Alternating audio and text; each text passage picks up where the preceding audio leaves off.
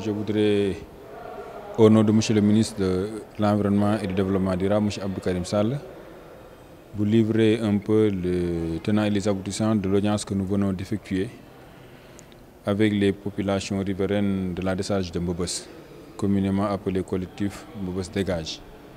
Monsieur le ministre, lorsqu'il a appris les manifestations de ces jeunes, ou de ces populations même de manière globale, avait émis le souhait de les rencontrer afin de les écouter pour voir avec eux comment résoudre leurs préoccupations.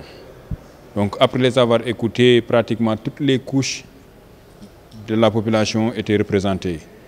Les religieux, les jeunes, les femmes, tout le monde a pris la parole, chacun selon le domaine qui le concernait, pour exposer les difficultés auxquelles les populations riveraines sont confrontées, notamment les problèmes de pollution, la fumée, la pollution atmosphérique, la pollution de l'air, la pollution de la nappe phréatique, la délinquance, l'insécurité, bref, tous les problèmes auxquels ils sont confrontés, ils l'ont exposé à M. le ministre.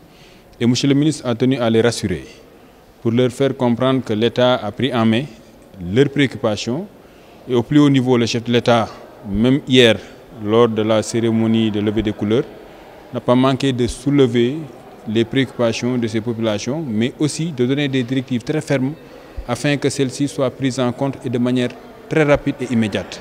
C'est la raison pour laquelle nous, au ministère de l'Environnement, au même titre que d'autres secteurs qui sont concernés par ce phénomène, nous avons pris le soin de les écouter, nous avons pris le soin d'échanger avec eux, nous avons pris le soin de voir comment résoudre définitivement ce problème. C'est un problème qui ne va pas nous concerner nous seuls, le ministère de l'Environnement.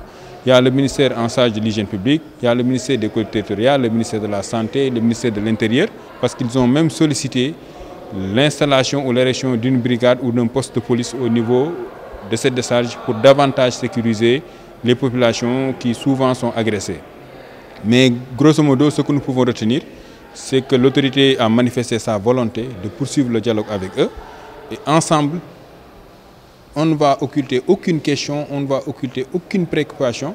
Nous allons voir comment soumettre très rapidement à la plus haute autorité des solutions qui pourraient résoudre définitivement le problème de la décharge de Mbobos.